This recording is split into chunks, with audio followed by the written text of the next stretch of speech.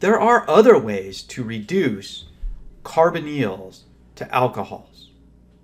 One of these uses hydrogen gas, because if we look, this carbon-oxygen double bond looks like a double bond. It is a double bond, and we can imagine removing one of the bonds, making room, and adding a hydrogen on one side, a hydrogen on the other. So in a sense, a reduction of a carbonyl is an addition of a molecule of hydrogen to that molecule. So we can use hydrogen gas with an appropriate metal catalyst. In this case, we use the catalyst Raney nickel, which is essentially a solid nickel surface that's been treated. Essentially, you can just write Raney nickel. We're not going to provide a mechanism for this reaction. We're now going to look at a whole class of reactions that use what are called organometallics. We're going to see organometallics of various types in other parts of this semester. This is the first time we see it, and the ones we're going to look at here are, I would say, the most commonly used organometallic reagents that exist. Organometallic reagents are compounds that have carbon groups directly attached to metals. So they're a combination of an organic molecule with carbon and a metal. The first two widely studied organometallic reagents were the Grignard reagent, which was discovered and studied by a scientist named Victor Grignard, who won the Nobel Prize for his work in this area, and the organolithium reagent. The Grignard reagent is called an organomagnesium compound because the metal is magnesium metal. It's made by mixing an alkyl halide, Rx, where X is equal to chlorine, bromine, or iodide, with magnesium metal. Again, we're using our notation here where if we have no charge on our metal symbol, it has uh, no uh, ionic charge, that makes it the elemental metal. So magnesium zero. What we see in this reaction then is that we make a, a product which has an R minus together with a magnesium 2 plus together with a halide minus. This is often written with covalent bonds here because we're going to see that the carbon to magnesium bond is actually probably not ionic. It's probably a very polar covalent. But we're also going to see that it behaves as if that was a negative carbon ion. We generally use diethyl ether or a related solvent, THF, tetrahydrofuran, as the solvents for this reaction. In fact, many of these completely require diethyl ether. The actual reagent is a complex molecule that has diethyl ether as part of its structure. Writing the solvent is not required, but you are going to see the solvent written very often since it is such uh, an important part of the practical use of this reagent. Organolithium reagents are actually often prepared in um, solvents like hexane. To make an organolithium reagent, we use a carbon group with a halogen attached, and we put in two equivalents or two molar equivalents of lithium metal. At the end, we're going to get carbon minus lithium, which is an extremely polar covalent bond right on the edge of being ionic. Plus, we're going to get a molecule of lithium halide. And that turns out actually to have implications when you actually try to use these. The one thing I want to point out is that um, the magnesium metal, each atom will give us two electrons. And effectively, if we look, those two electrons on the carbon are probably the two electrons from the magnesium. The reason then why we have to use two equivalents of lithium is that each lithium will only give us one electron. So in order to get the two electrons we need for the carbon minus, we need two equivalents of lithium.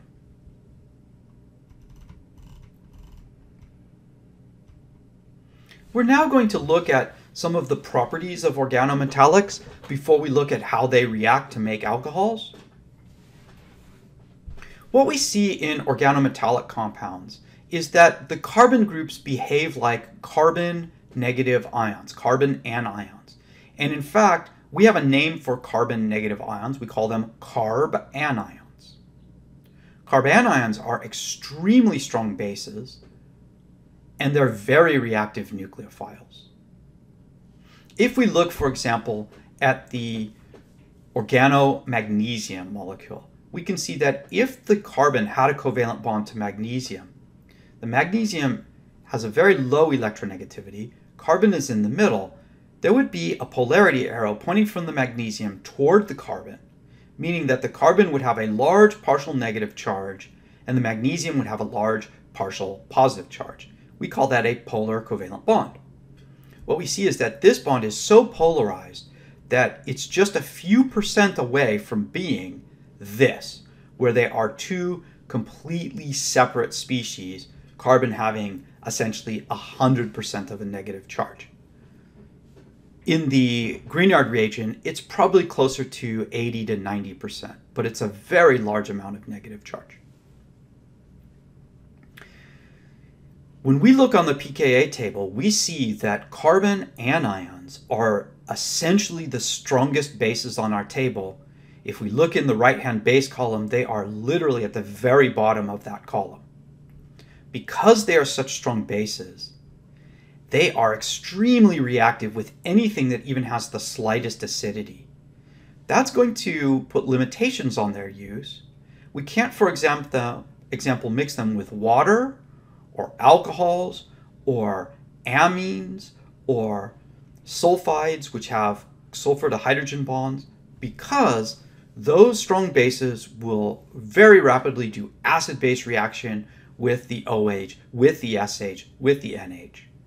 That's going to place a hydrogen onto that carbon, making it no longer a negative carbanion, and thereby not allowing it to react as we want it to.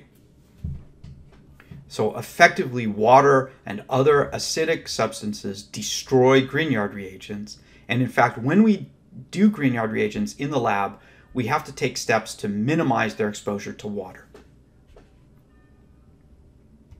We can, however, take advantage of this acidity by using organometallics like alkyl lithiums, Grignard reagents, to deprotonate weak acids. Things like terminal alkynes.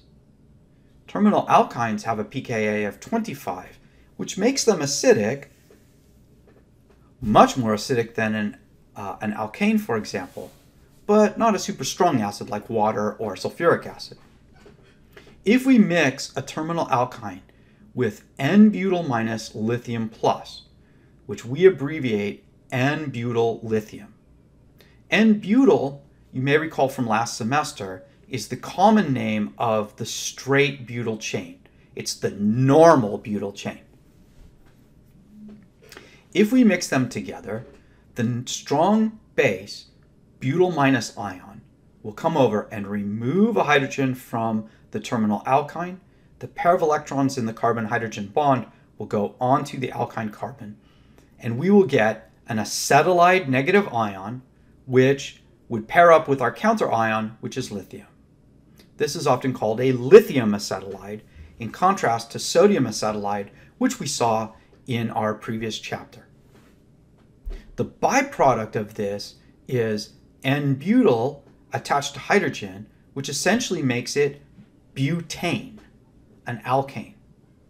One of the advantages of this acid-base reaction is that the conjugate acid product here is a gas at room temperature.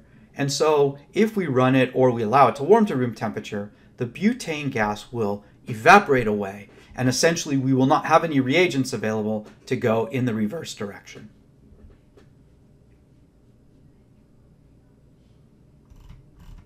We're now going to look at how we can use organometallic reagents to synthesize alcohols.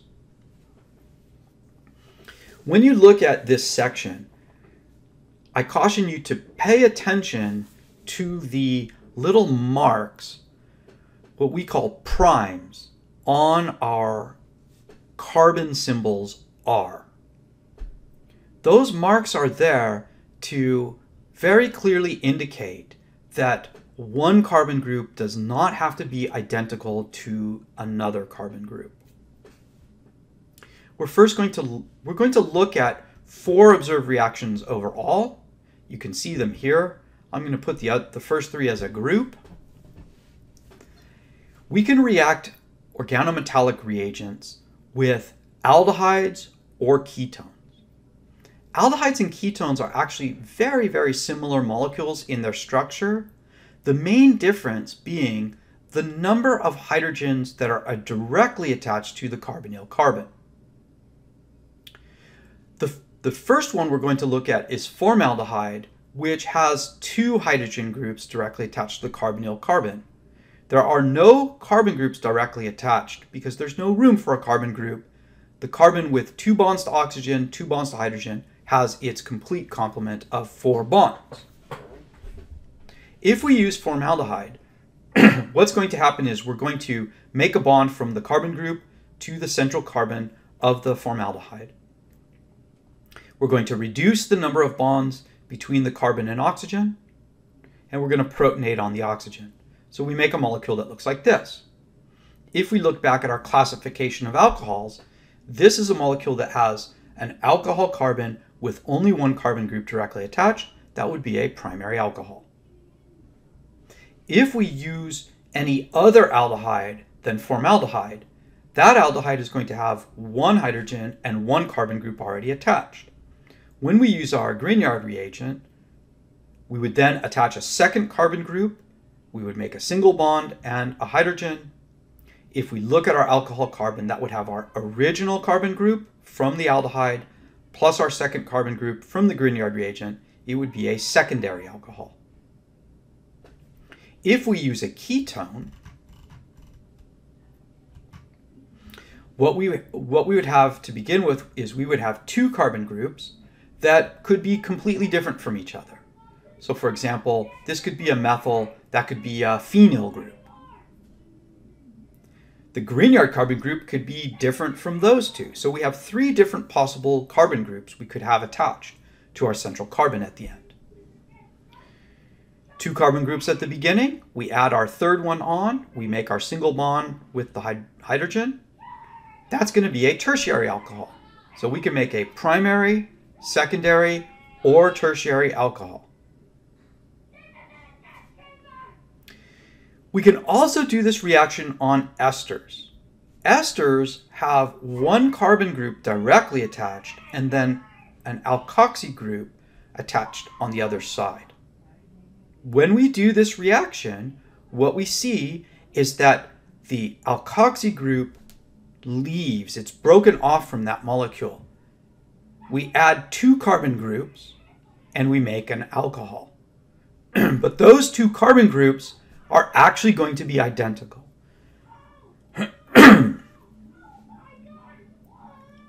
so we're going to need two equivalents of our alkyl, I'm sorry, of our organometallic and we're going to end up with a tertiary alcohol, but the tertiary alcohol will have two identical carbon groups. We're now going to look at the mechanism of the organometallic reaction. Again, this is probably, probably should be considered a formal mechanism. This is going to be a formal mechanism because, as I pointed out earlier, our organometallic reagent is probably not a completely ionic reagent, but we're going to draw the ionic form of this reagent just so that we can better understand the electron movement. If we look at our mechanism then, it's actually quite similar to the mechanism of our hydride reductions. We have a carbonyl carbon with a partial positive charge, attracting to it a carbon group with a negative charge. The carbon group will come over and make a bond to that positive charge. and then a pair of electrons will be pushed out of the way onto the oxygen. So we will end up with an intermediate that looks like this. Carbon, or sorry, organometallic carbon group attached to our central carbon, negatively charged oxygen alkoxide. Again, the metal ions in this reaction are just going to move around to pair up with whatever species has a negative charge. So for example, if we were using a Grignard reagent where we had a magnesium 2 plus and a halide minus, we would have the magnesium 2 plus associated with this and also a halide minus. To complete the reaction, what we need to do is remove the metal counter ion and replace it with a bond to hydrogen. This is often called a hydrolysis step for several reasons. First, we typically use water to accomplish this. Second, what we consider is that we're sort of cutting the oxygen to metal bond. The Greek term or Latin uh, suffix for cutting is lysis. So we're doing cutting with water. In a practical sense, what we typically use for this is aqueous acid, which would be something like 6 molar hydrochloric acid or dilute sulfuric acid. It's essentially going to be a species that provides us with hydronium aqueous ion the negative charged oxygen will act like a base, deprotonate the hydronium, you'll get a molecule of water, and you'll get your final product. This is summarized in this statement below.